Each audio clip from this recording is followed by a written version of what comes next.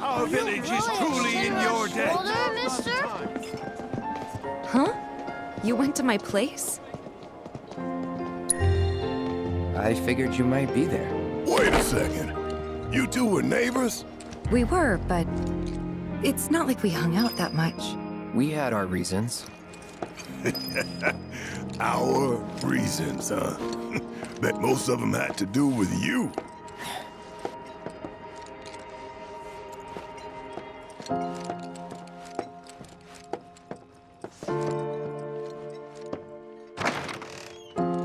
You went into my room? I did.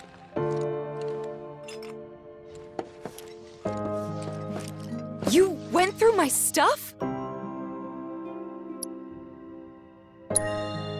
If that's your idea of a joke, I'm not laughing. Yeah, me neither. Come on, Cloud. I know you better than this. You went through my stuff?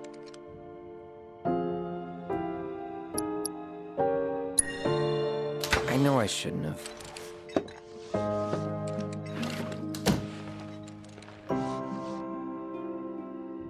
Cloud!